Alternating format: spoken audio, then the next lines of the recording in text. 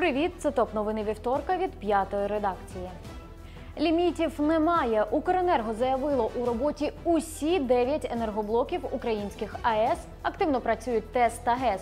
Втім, головне не наврочити. Українцям радять не забувати про економію електроенергії.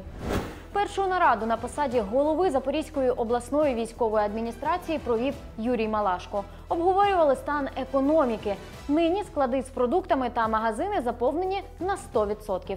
Прогнозують, що рівень промислового виробництва може зрости на 3%, а виробництво сільгосппродукції менш ніж на 1,5%. Втім, коли область деокупують, обсяги виробництва зростатимуть активніше. Час доносів повертається, сказав Слава Україні. Готуйся заплатити. У Мелітополі окупаційний суд оштрафував кількох місцевих за антиросійські висловлювання в магазині. Дрони з тепловізором, аби бити русню і вдень, і вночі, та EcoFlow, щоб завжди мати можливість підзарядити акумулятори бойових пташок.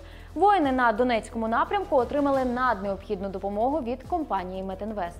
Ідеш на штурм, отримуєш надбавку. Русняве військове керівництво як тільки може мотивує своїх підданих, щоб ті охочіше йшли в наступ. Доплати обіцяють за кожен кілометр просування по українській землі.